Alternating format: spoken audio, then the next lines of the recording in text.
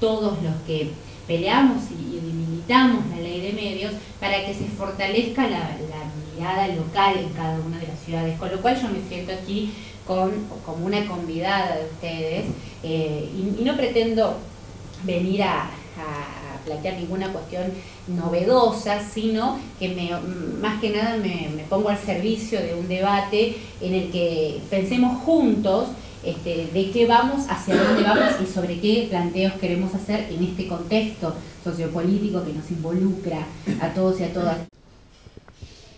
Y a mí me parece que hay un eje común que tiene que ver con el compromiso con la palabra. Yo creo que que sobre todo en el contexto de la nueva ley de servicios de comunicación audiovisual, digo nueva y me suena todavía extraño pensar que esta ley a cuatro años de haberse promulgado no tiene su plena vigencia, me parece que ese es el contexto, el poder, los medios, la discusión sobre este tiempo político, eh, las, críticas y autocríticas que hay que hacer a, a qué déficits comunicacionales nos atraviesan para que mucha, digamos, gran parte de la sociedad este, aún no comprenda lo importante de la pluralidad de la palabra y, la, y construir contrahegemonía discursiva a un planteo de comunicación dominante versus un planteo que se basa en la comunicación social, que es lo que nosotros, que, yo personalmente y creo que todos aquellos periodistas que creemos o queremos ser periodistas del campo nacional y popular venimos a proponer. El poder crea la realidad poder tiene eh, la cerradura que abre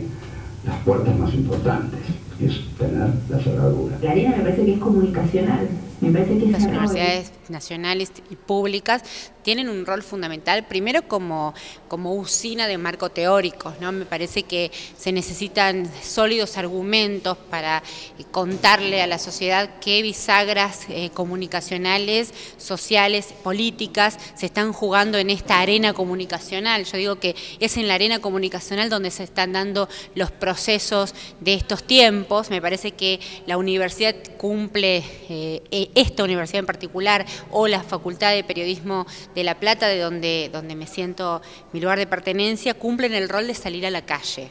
Me parece que mal harían las universidades si se acaudalaran ese capital de contenido, ese capital simbólico que, no, que justamente no se puede medir en, dimensiones de mercado, pero sí se pueden valorar en dimensiones de, aporte de, capital simbólico para generar procesos de cambio en el marco de una mirada latinoamericana, del mundo en el que vivimos, de los procesos de lucha cultural que estamos encarando. En ese sentido me parece que, que todo este capital que las universidades nacionales pueden aportar desde el, desde el caudal de conocimiento por un lado, pero desde salir a brindarle a la sociedad ese conocimiento. Yo creo que así como en un momento la consigna era hay que tomar las fábricas, yo creo que ahora la consigna es hay que tomar la palabra y las universidades tienen que hacer bandera.